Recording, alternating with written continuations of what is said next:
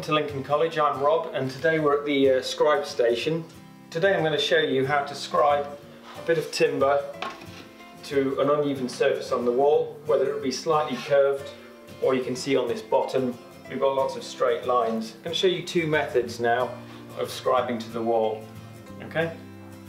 The tools I'm going to need for this is obviously like anything that we do in joinery is a nice sharp pencil um, I've got a hammer here. This is just to tack on the timber to where we're going to scribe to. A steel rule or a tape measure. The reason I'm using a steel rule today, a little bit more accurate than the tape measure. That's going to make sure that we cut it once and it's just going to go straight back. I've got a level and a piece of timber just to draw around as well. So now what I'm going to do, I've uh, tacked these in position, leveled it up making sure that when it goes back it's nice and level. So uh, this is a fairly curved one but again as you can see on the top we've got these straight lines. So from there I'm just going to transfer those onto the timber using the level. Just a level across top and bottom. Then using a piece of timber you can see it's just slightly bigger than what we need it could be the same size as the widest point. Just going to go down and scribe around and again that's going to show us the exact line that we need to be cutting out.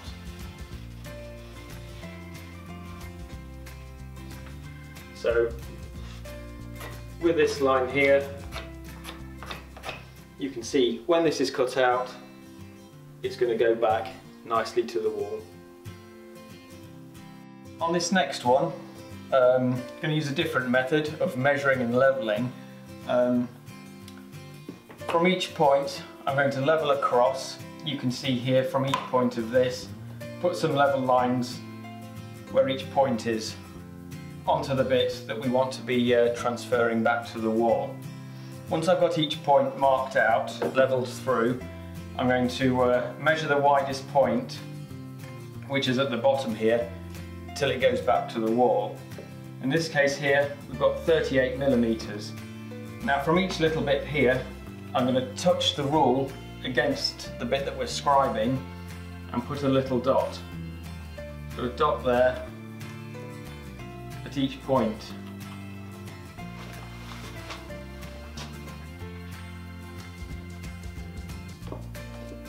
You can see on this one here, I need two close together as long as I remember which line goes to where, we'll be okay. Now that I've got all the dots marked out, it's just a case of joining them all up.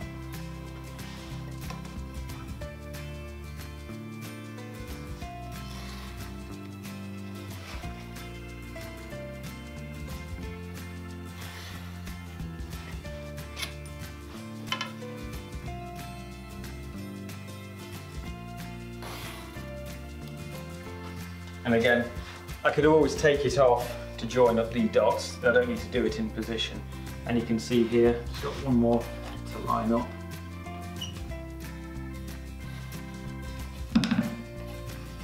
And then you can see here, I need to cut this little bit out and it should go nicely back to the wall. I've cut these out using a coping saw. As I said earlier, we could use a jigsaw as well, but I used a coping saw because there's not that much to cut out. Um, and as you can see with the top one here, slides nicely, goes over the curve nicely. We can always tack it in position, position if we need to, but we don't need to in here because they're going to come back off again. And the bottom one again slides nicely into position there, and that's that done.